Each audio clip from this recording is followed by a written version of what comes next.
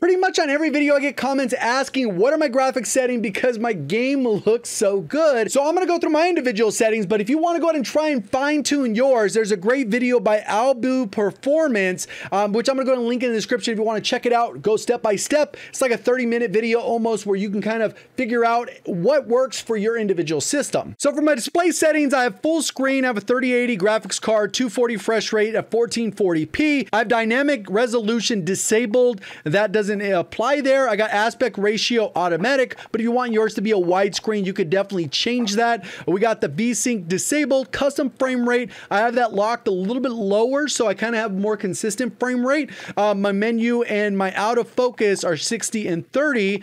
Brightness is set to 50, no change there. Gamma 2.2, NVIDIA highlights disabled, NVIDIA reflex low latency I've enabled plus boost. When it comes to quality, my field of view is set to 107. Most people range anywhere between 105 up to 120 just because your game just looks and feels a little bit better, even though at the end of the day, it doesn't lead to direct performance. Uh, but it's always nice to have a, a, high definition TV over standard, right? It's just kind of one of those things, feels good. But besides that, it is what it is. So if I do aim down sight with lower zoomed optics, it will impact how that looks on my screen. Uh, and that's there. I have my screen camera movement set to least, render resolution set at 100. I know some people do some kind of crazy stuff where they double this and shrink the other one.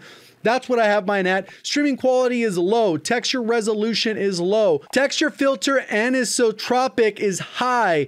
Particle quality high, bullet impact spray, I have them enabled. That's because I'll do spray patterns and look at them. And this will also account for sprays. You can disable that one. Not really a big issue on performance.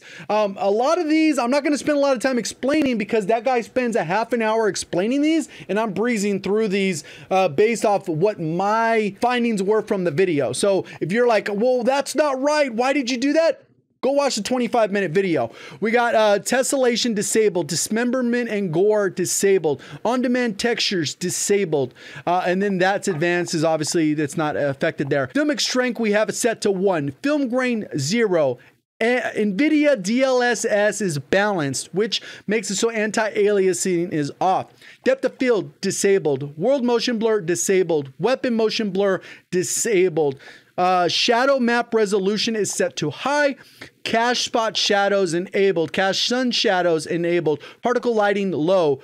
DirectX ray tracing disabled. If you're playing the campaign, you don't really care about frames, you want immersion, you probably kick that on. We got ambient occlusion and then screen space reflection both disabled. This is what I have my NVIDIA color settings on. I didn't go through and make all these micro and macro adjustments. That's just pretty much what I have set up. And then this is my Elgato that reads through my OBS. And this is gonna look weird picture in picture, but I wanna show the OBS settings so you guys can see exactly what I have going on. What we have with the specific Elgato is that when we go over to the filters, you can see for color correction, I have have this set to 0.31. So this isn't exactly what it looks like on my screen. There's a little bit of filtering when the Elgato comes through. So if I set this to zero, this will look exactly the way it looks on my screen, which is kind of a negligible difference. When we go ahead and look at that, we're not really seeing a huge change there. Obviously, if I put this up to crank saturation, you guys will see it, but it doesn't change what I'm actually seeing on my screen. So normally this could be set to zero. It exactly is going to look exactly like my screen, but I can actually move this up a little bit and that's kind of where it sits. then when it comes to the NVIDIA overlay, I don't actually have anything set up for game filter. I actually have it completely off, so it doesn't impact any of that. After they went to Caldera, they did the lighting changes. I, I just kind of leave the game as default and it looks great. If you want to manipulate shadows and all this other stuff, it just ends up making the game look all wonky. Hopefully this helped you guys out. Appreciate all the support of the content. Thank you for watching as always. Have a great day.